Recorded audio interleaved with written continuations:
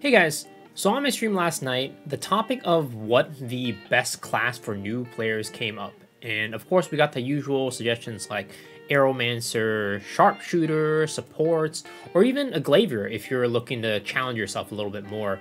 And yeah, those are all good options for new players. But one suggestion of Evolution Scouter and Demonic Shadow Hunter came up. And I would say that in the past, those were definitely suggested by a lot of people as very beginner friendly classes and would recommend people make those classes as their first classes. But I would say these days, these classes are actually the least suggested classes for me for a new player. And here's why. While, you know, it isn't perfect, Smilegate has done a lot to improve the new player experience. From the Super Mokoko Express to the upcoming Horizontal Express, which, by the way, if you haven't seen my video on what the Horizontal Express brings, I'm going to link it up on the top left. Um, but Smilegate has been doing a lot to help the new players catch up to the current content pretty quickly. And I would argue that one of the best things that they've done for the Super Mokoko Express is not the 5-3 by 503 engravings, but actually it's the full set of level 7 and some level 8 gems that they give you in as a part of that express. Those gems are so nice for both new players and also endgame players because gems are one of the most expensive barriers to entry for anybody playing the game. And this is actually one of the reasons why people have said in the past that Evo Scouter and Demonic Shadow Hunter are some of the cheapest classes to play because they only need two gems. They only need one damage gem and one cooldown gem. So wait, if that's the case, why wouldn't you recommend these classes for new players? Isn't it better for new players to play a cheaper class since they have less resources to start off with? Well, the problem is that it's not quite that simple.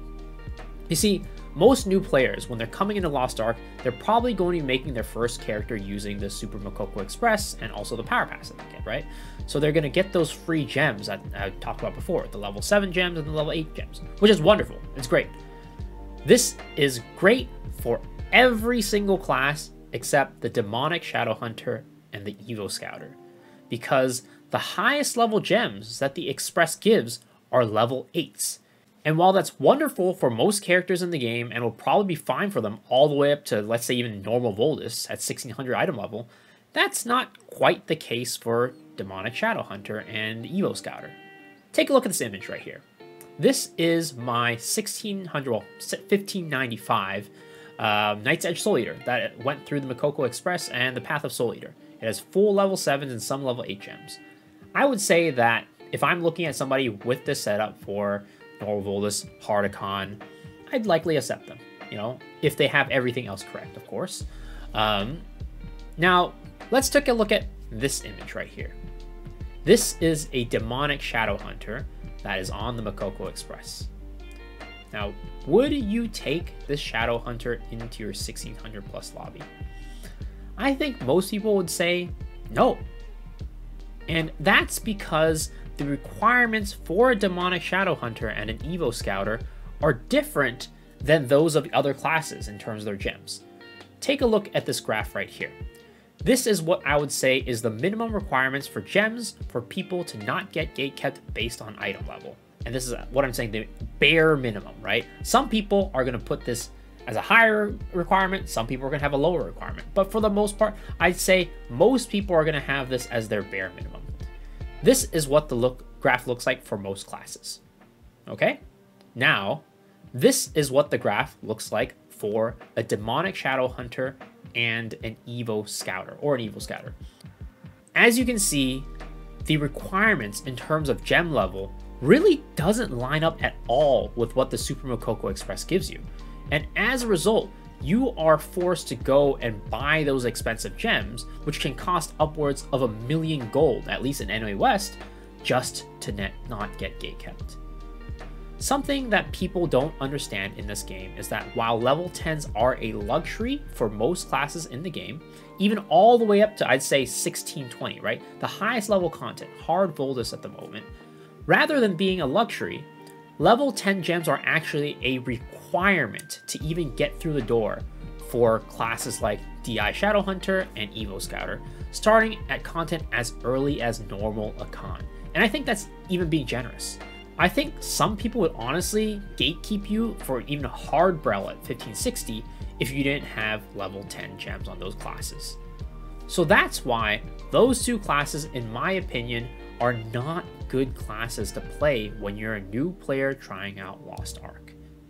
Having said that, I know there's a good number of people who are watching this video who do want to play Transformation Scouter or Transformation Shadowhunter. And to that, I would say I would recommend you try to find a group of friends who won't gatekeep you based on your gems for the content. Because even though it, I say it's a requirement to have level 10 gems, you can definitely clear without having the level 10 gems. But it's just that when you go out into the public, when you're playing pugs, playing with random people, they're 100% going to gatekeep you based on not having those level 10 gems. I would also recommend, in addition to that, if you're willing to kind of be a little bit flexible about what your definition of a transformation class is, I'd recommend you play a class like Barrage Artillerist, which in many ways is similar to those other transformation classes, but the pressure to have a level 10 Barrage gem is much lower than that of a DI Shadow Hunter or an Evo Scouter.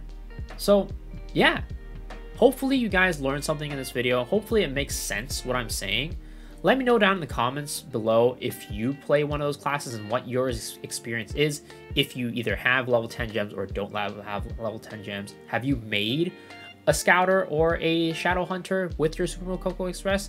What ended up happening? Did you get gate kept? Let me know down in the comment section down below. And as always, if you enjoyed the video, please hit the like button, hit the sub button, ring the bell for notifications, and also I stream on twitch.tv slash misoxshiru every single night starting at 10 p.m. PST. So hopefully I see y'all on my stream, but if not, hopefully I see you guys on the next video. All right, guys, peace out.